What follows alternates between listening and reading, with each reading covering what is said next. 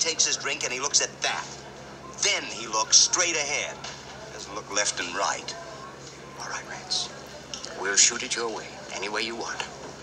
Now, can we begin? In a minute, in a minute, my stomach is killing me. These scenes, these miserable emotional scenes.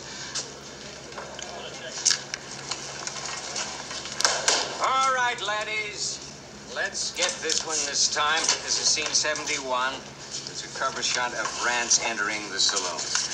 Now, let's get with it, fellas. Please, we're way behind.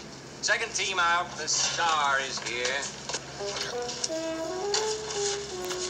Some 100 odd years ago, a motley collection of tough mustaches galloped across the West and left behind a raft of legends and legerdemain. And it seems a reasonable conjecture that if there are any television sets up in cowboy heaven, any one of these rough and woolly nail eaters could see with what careless abandon their names and exploits are being bandied about, they're very likely turning over in their graves, or worse, getting out of them.